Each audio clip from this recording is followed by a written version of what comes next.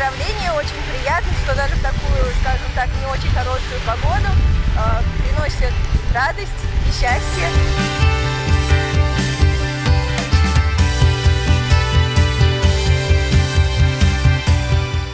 Э, От лица сотрудников госавтоинспекции города Балакова хотим поздравить женщин, э, водителей, пешеходов, всех участников дорожного движения с наступающим праздником 8 марта. Пожелать им крепкого здоровья, дарить счастье, улыбки своим близким родственникам.